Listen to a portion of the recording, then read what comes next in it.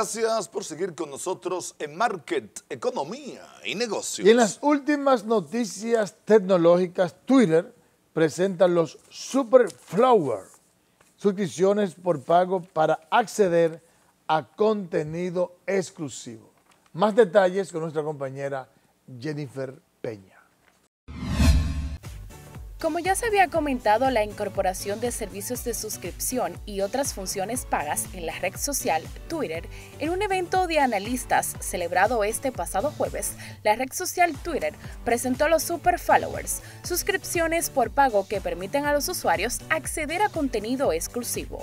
El servicio en el que la compañía lleva trabajando desde hace tiempo ofrece a los creadores la oportunidad de monetizar directamente a su público en la red social, compitiendo así con otras plataformas como Patreon y OnlyFans. Las suscripciones de Super Follower costarán alrededor de 5 dólares al mes, aunque ofrecerán a los usuarios las cancelaciones en cualquier momento mientras que Google anuncia que no usará el historial de búsquedas para vender información personalizada. El gigante de Internet se comprometió este miércoles a no reemplazar las cookies de terceros que siguen a los usuarios por las páginas web, mecanismo utilizado para ofrecer publicidad personalizada y una vez las eliminen de su navegador dentro de un año. La firma del buscador más usado del mundo ya adelantó a principios del 2020 la intención de eliminar las controvertidas cookies pero el anuncio de este miércoles añade que una vez esto ocurra, la empresa no la sustituirá por otra tecnología similar, algo en lo que se había especulado. Para Marker Economía y Negocios, Jennifer Peña. Jennifer Peña, muchas gracias. El presidente del Colegio Médico Dominicano, Waldo Ariel Suero, asegura que más del 90% de la población dominicana se vacunará contra el COVID-19, contrario a como proyectaban algunas firmas encuestadoras, que el 40% de la población no pretendía aplicar el biológico. La opinión fue ofrecida luego de externar su gratitud al presidente de la República, Luis Abinader, por disponer la pensión de más de 1.200 médicos con el 100% de su salario. Jonan González está en directo desde el Colegio Médico Dominicano con esta importante y alegre noticia. El presidente del Colegio Médico Dominicano, Waldo Ariel Suero, prevé que un 90% de la población dominicana se vacune contra el COVID-19. Esto a raíz de que los vacunados hasta el momento no han presentado reacciones adversas. Que el que se vacuna prácticamente no está recibiendo, no, no se complica. Eh, sale totalmente asintomático. Ni siquiera fiebre le está dando a la inmensa mayoría ni siquiera malestar, los dominicanos se van a estimular ese 40%. Y el Colegio Médico vaticina desde hoy que más del 90% de los dominicanos se van a vacunar para evitar el COVID. Waldo Ariel Suero consideró que se ha logrado desmontar la campaña que buscaba intimidar a la población a los fines de que no se vacune contra el coronavirus. Asimismo, dio el visto bueno a la manera en que se está desarrollando el Plan Nacional de Vacunación y dijo no oponerse a que se vacunen a los inmigrantes haitianos que residen en el país de manera ilegal. Nosotros no, no podemos negarle la salud a ningún extranjero.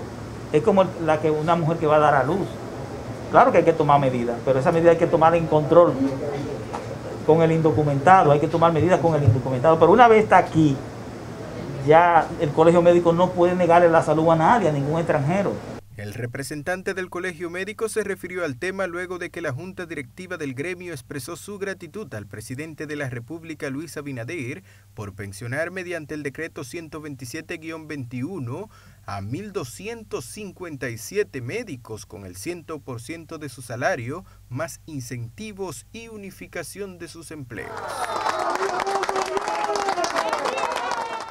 Estos primeros pensionados bajo el régimen de la Ley 414-98 contarán con pensiones que oscilan entre los 50 mil y los 183 mil pesos mensuales. Gracias a Jonan González, la verdad es que... Pero está alegre, Waldo, ¿eh? Sí, ¿Eh? tiene una actitud diferente. ¿eh? ¿Eh? Mira, hay gente que está mencionada con 150 mil pesos. Bueno, pero es una una gran noticia porque la verdad es que era una desconsideración que un médico que oferta, que da un servicio tan importante, el más importante, que es mantener tu salud y darte vida.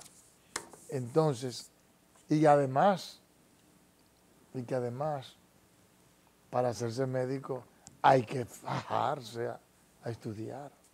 Y más ahora que se exige una especialidad. O sea, después que tú duras cinco o seis años estudiando uno de los pensos más difíciles que hay, los pensos. Luego tienes que hacerle un año, dos años al, al gobierno gratis. Y luego tienes que hacer una especialidad y mantenerte ¿eh? Actualizado. actualizado en torno a tu especialidad. Entonces que te paguen un salario de miseria como general, como históricamente se le ha pagado a los médicos y que además te pensionen con el 30, el 40% de tu salario, la verdad que eso era una obscenidad. Así que yo felicito a el presidente Luis Abinader y de manera muy particular a Waldo Ariel Suero que se fajó, que se ha fajado. Uno se incomoda con frecuencia con Waldo porque hay veces que te hace una Vota la tercera. Sí, se le va una tuerca, ¿verdad? Pero no cabe duda de que es, y por eso es que siempre gana.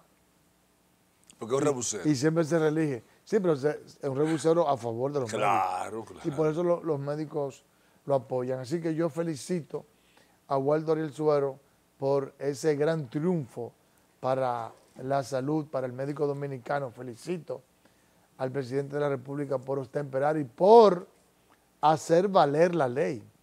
Porque la- hay una ley que, de- que desde, el novi- desde- desde el 1998 establecía que a los médicos y a, los, a las enfermeras y a los profesores había que pensionarlo con su salario completo y no se cumplía. Por fin se está respetando la ley y la institucionalidad. Pero de manera muy particular, porque el colegio médico está ayudando con el proceso de vacunación y eso es sumamente importante para que todo vuelva a la normalidad y para que la economía se pueda restablecer y podamos volver a crecer como lo hacíamos eh, en el, eh, hasta el 2019, de un 5, un 6, un 7% todos los años. Mira, pero esa felicitación que tú hiciste a los médicos lo hicieron temprano la gente del PPD, del Partido de los Vagos El Dominicanos. PPD, Temprano saludaron.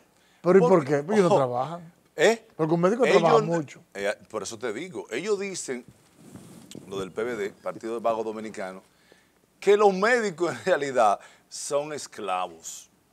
Esclavos, así lo dicen ellos. Lo dejan ir a la casa. Y aún en la casa los pacientes lo llaman. Es decir, que el médico, por eso yo le prohibí, lo digo públicamente a mi hija más chiquita que fuera estudiante de medicina, porque los médicos lamentablemente son esclavos del pueblo, son esclavos de la gente. Fíjate que un médico, de que una persona te dice yo soy médico, tú no lo ves como una persona igual que tú, tú lo ves como una autoridad. ¿Por qué? Porque el médico, señores, es el único profesional, el que le dice a una mujer, encuérese ahí. Te dice a ti, encuérate ahí, tú tienes que obedecer, porque es como si fuese un padre para uno, todos los médicos. Y después que tú tienes 40, se pone una fundita, busca una grasita y tú tienes que aceptarlo. Todo lo que hace un médico uno lo aplaude, entonces Porque tú felicidades. sabes que es para, para el bien de tu salud. Claro, felicidades a todos los médicos, felicidades al presidente Luis Abinader, felicidades a Aldo, a todo el mundo felicidades, porque de verdad, tú dijiste que los médicos están ayudando en la vacunación, son ellos los que están vacunando, ellos están No, y, ayudando y realmente los grandes héroes en todo este proceso del mundo. han sido los médicos y las enfermeras. Así que muchas Porque las felicidades. enfermeras no se pueden quedar tampoco. Todo el que tiene que ver con, con algo, hasta el personal administrativo de lo que tiene que ver con la medicina. Bueno, finaliza por el día de hoy Market, Economía y Negocios. Que pasen un buen fin de semana y nos encontramos de vuelta el lunes.